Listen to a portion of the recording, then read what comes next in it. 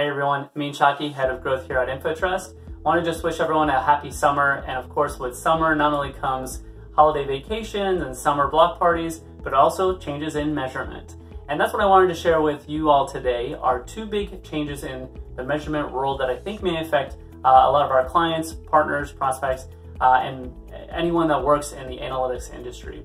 So the first one specifically around mobile app measurement and particularly those organizations using Google Tag Manager.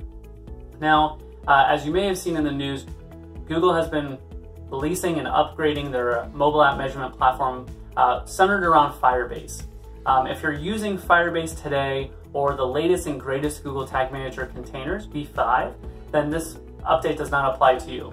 But if you've been using Google Tag Manager for your mobile apps for a number of years now, you're likely using the older version of Google Tag Manager V4 that predates Firebase, or at least all the capabilities that Firebase has today, such as enhanced e-commerce and other tracking. But very recently, Google released some key dates over the next year of how they're going to be deprecating the older version of Google Tag Manager v4 uh, and encouraging all customers to move to GTM v5, which is the Firebase um, approach to measurement uh, within your mobile applications. Now, just to be clear, uh, this update and these dates that were shared do not force users to abandon Google Analytics for measuring their mobile applications. It's purely around how you collect data within your mobile app, around Google Tag Manager.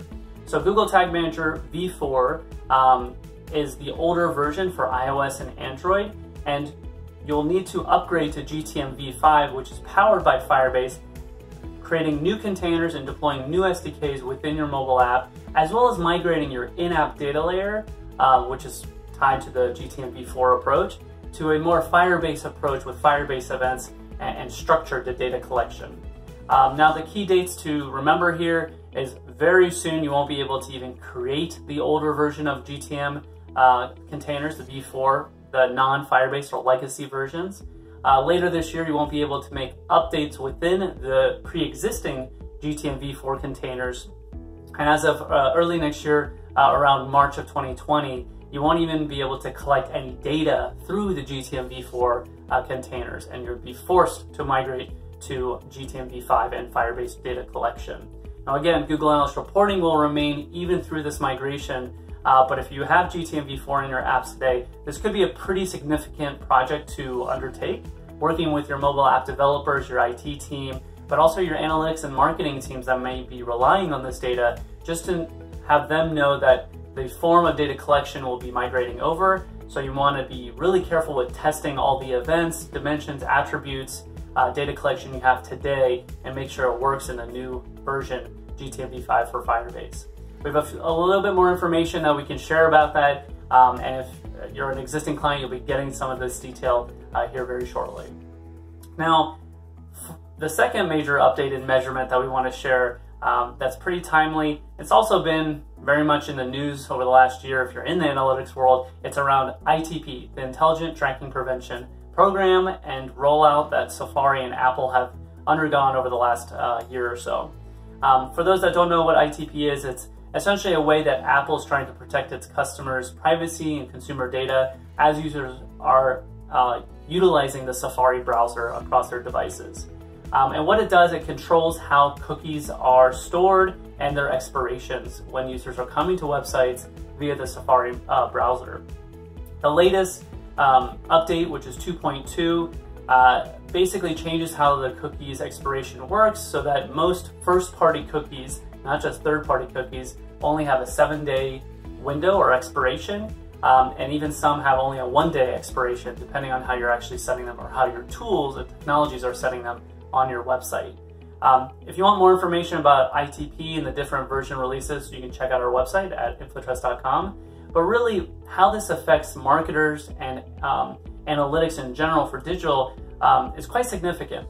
With cookies for the Safari browser having only a seven day or one day expiration window before they're deleted, that really modifies how user counts, user metrics, and even attribution, retargeting, remarketing works um, online.